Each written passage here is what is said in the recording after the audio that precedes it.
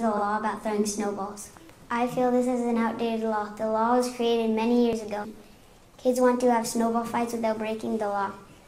Kids want to have a voice in our town. The kids of Severance agree this, no, this law needs to be changed. I asked many friends in my school if they felt this was a good law.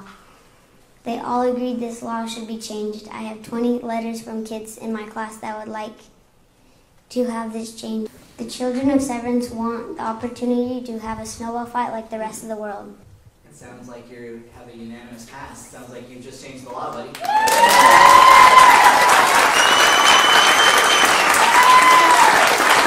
Throw your first snowball, the first legal one.